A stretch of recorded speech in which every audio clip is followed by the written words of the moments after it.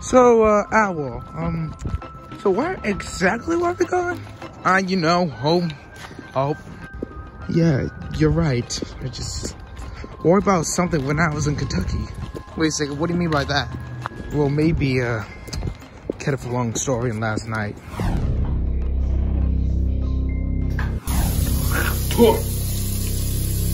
Hello, Icebird.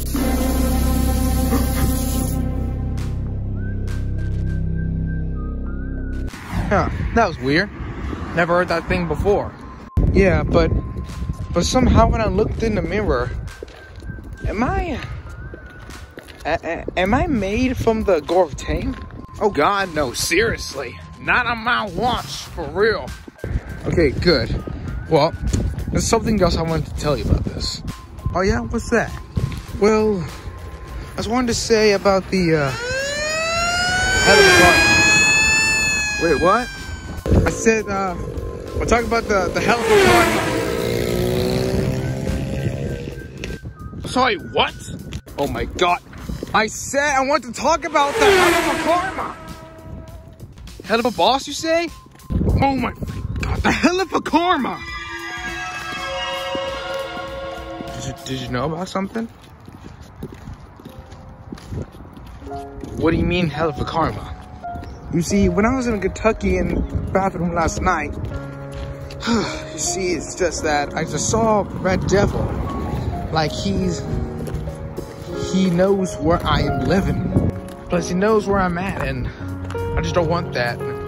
Seriously, I feel the shadows when someone's in the shower. That's kind of scared me.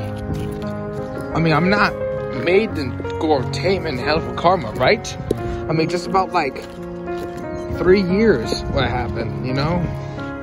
Three years ago, the, the Legend of an Owl, the Ultimate Power, and the Tame of Gore. We never even come up with that thing before.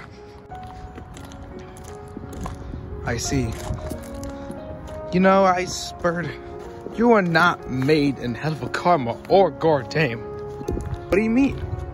I mean, come on. You're an angry bird, just like one of us. But I'm just an owl.